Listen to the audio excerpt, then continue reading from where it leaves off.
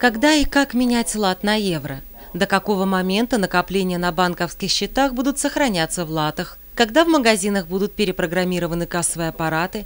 Цены на товары надо писать сначала в евро, а потом в латах или наоборот? Это только часть вопросов, волнующих людей в преддверии перехода на евро. Чтобы получить конкретные ответы, в регионах проводятся мероприятия под названием «Евро-дни». И первое из них прошло в Венспилсе. Есть какие-то вопросы, которые вас волнуют? Лишь бы банк не обманул нас, больше ничего меня не волнует.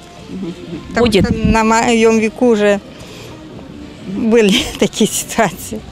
Ну, вы уже помните переход на э, рублей на латов? Да, да.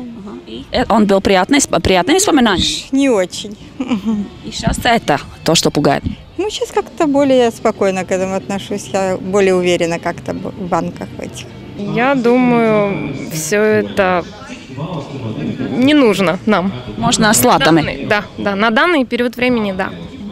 Пока в Европе экономический кризис, у нас, у нас есть свои деньги, и они, в общем-то, ценятся. Венспилское самоуправление не скрывает, что средства для перехода на евро уже зарезервированы, а для Министерства финансов заготовили подарок – венспилскую валюту – венты. Ļoti grūti. В любом уголке мира очень трудно, потому что везде существуют политические риски, правительство разваливается, рождается спекуляция.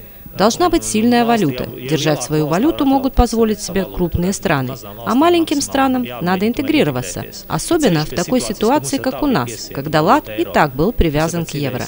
Мы, по идее, и так пользовались евро, только не было такой защиты. Ни разу лат мы не девальвировали, не револьвировали. Если не собираешься ничего делать с курсом, то и смысла нет держать лат стабильно привязанным к евро. Поэтому все балтийские страны выбрали этот путь. Второй путь – игра с курсом, как это делают Польша, Венгрия, Чехия. Там курс гуляет туда-сюда.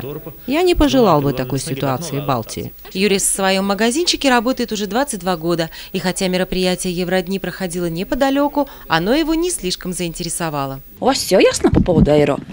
Знаете, мне, я, во-первых, меня никто не спрашивает, согласен ли я менять латы на евро. И кому это выгодно.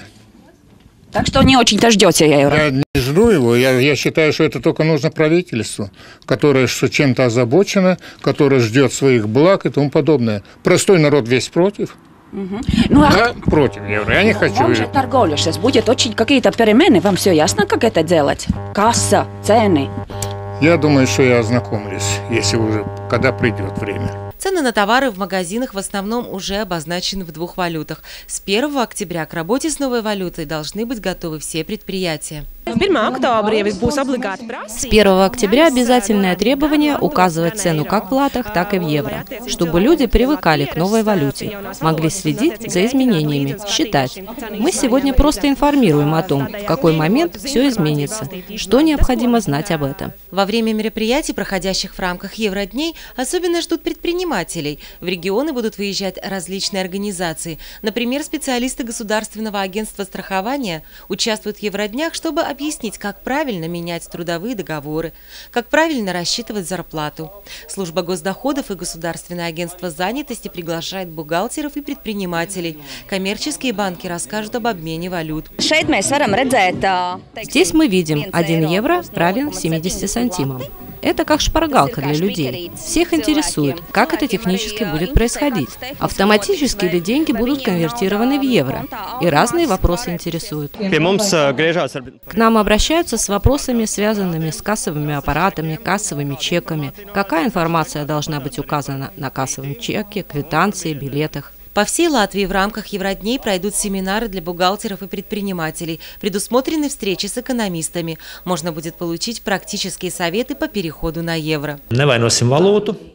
Не будем обвинять валюту, а винить надо политическое бессилие во многих государствах и на уровне Европейского Союза в целом. Посмотрим, как выйдем из ситуации. Страны Балтии и Латвия в том числе из кризиса вышли.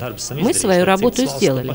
Пусть и другие страны делают то же самое. Главное не смешивать все проблемы в одну кучу. Следующее мероприятие Евродни пройдет 20 сентября в Лепе. Затем о евро будут информировать жители Латгалии. Самый широкий круг специалистов во время Евродней можно будет встретить только в крупных городах. Остальным же придется довольствоваться печатной информацией, которую обещало выслать Министерство финансов.